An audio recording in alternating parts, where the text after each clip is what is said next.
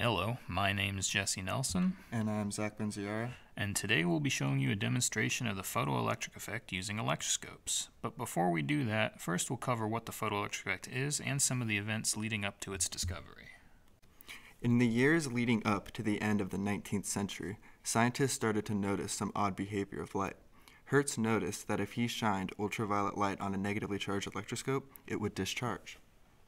Around a decade after Hertz made this observation, J.J. Thomson showed that the electroscope was discharging because electrons were being emitted. This phenomenon became known as the photoelectric effect. The following year, Philip Lenard, who was J.J. Thomson's student, constructed a device that consisted of a glass tube with two facing electrodes that were connected to an ammeter. When he shined UV light on the cathode, a current was produced, evident by the reading on the ammeter. Under the classical model of light as a continuous wave, the energy of light incident upon a material should not affect whether or not electrons are emitted, since the energy being delivered by the light should accumulate over time. However, this is not what Lenard observed. Lenard discovered that in order for the photoelectric effect to occur, the light striking the material's surface must meet some minimum frequency known as the threshold frequency. And if the light does not meet this frequency, then no matter how strong the intensity of the light, no electrons will be emitted.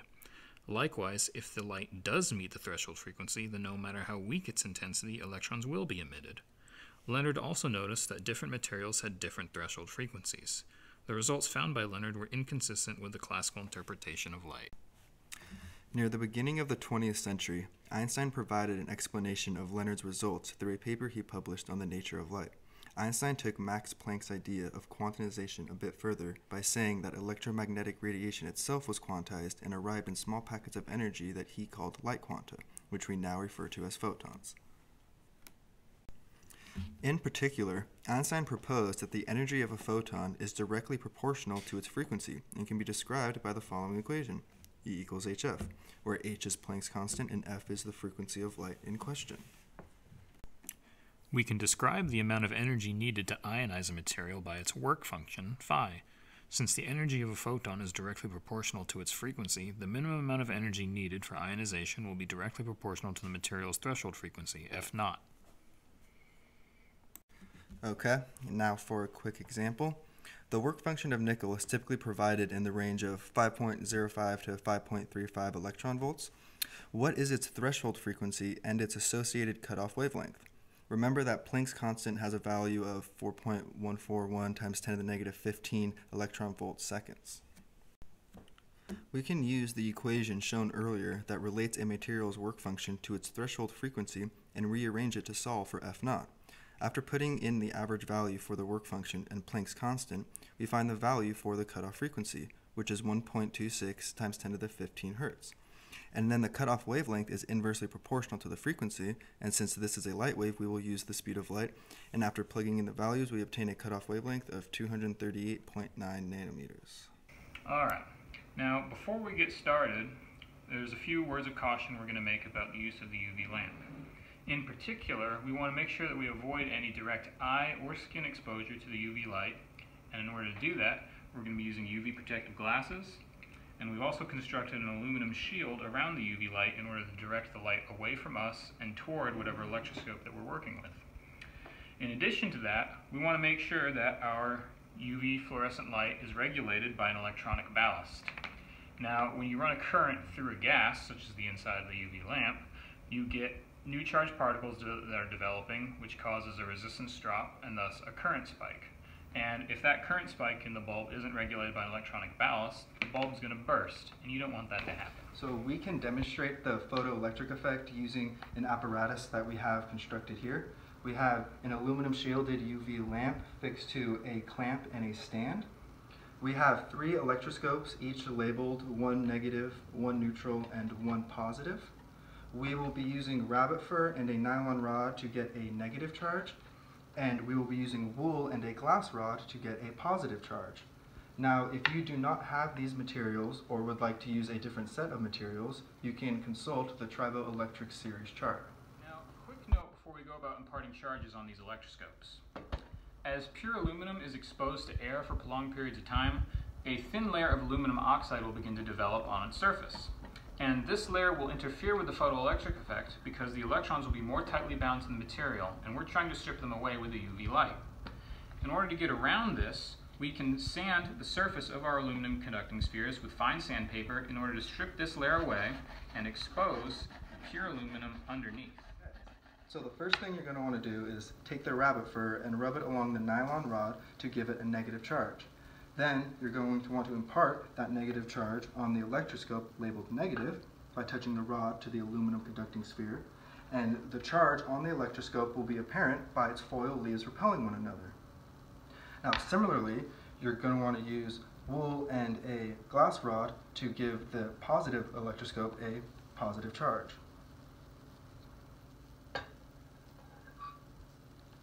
Now you'll have two charged electroscopes, one negative and one positive, and the third electroscope will remain neutral. Well, Zac, what do you think might happen if I shine this bright visible light on each of these electroscopes? Well, if the light is intense enough, according to classical physics, it should eventually discharge the electroscopes. That's what you might think, and that's also what they thought at the beginning of the 20th century. But as you can see, each of these electroscopes is entirely unaffected by the presence of this intense visible light.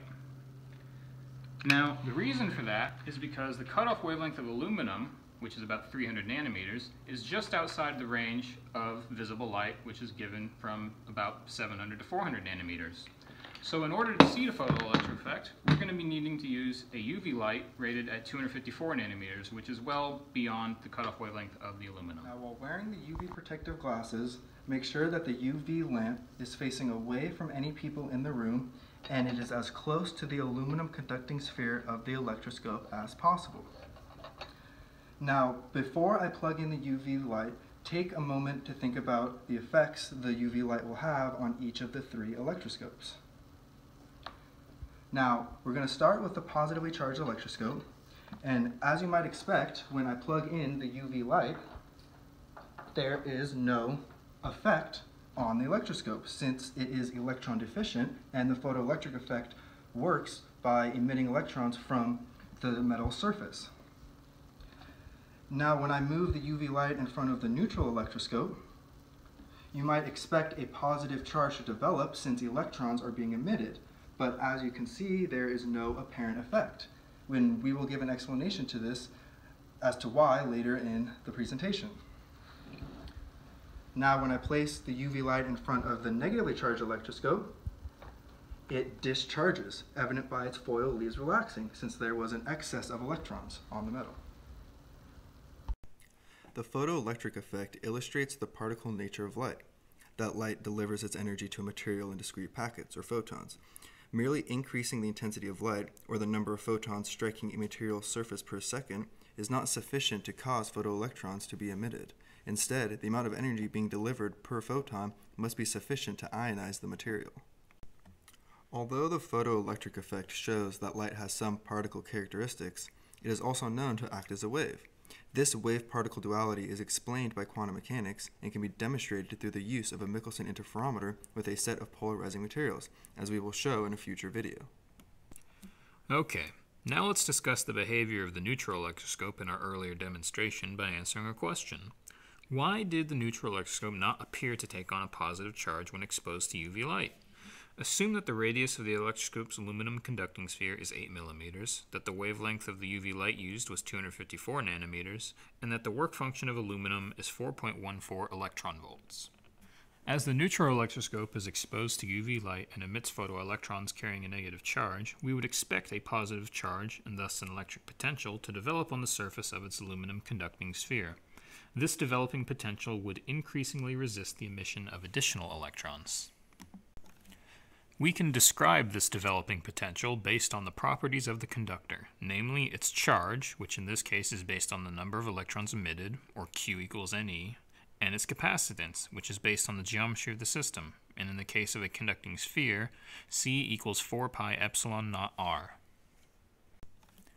We'll hold on to that expression for future reference. Now, the maximum kinetic energy of a photoelectron is based on the difference between the total energy delivered to the electron by the incident light and the work function of the material to which the electron was bound. The energy required to ionize the material can be described by the electron's charge and the size of the developing electrostatic potential. We can set these expressions for the energy of the photoelectron equal to one another in order to solve for the maximum electrostatic potential that can develop on the conducting sphere.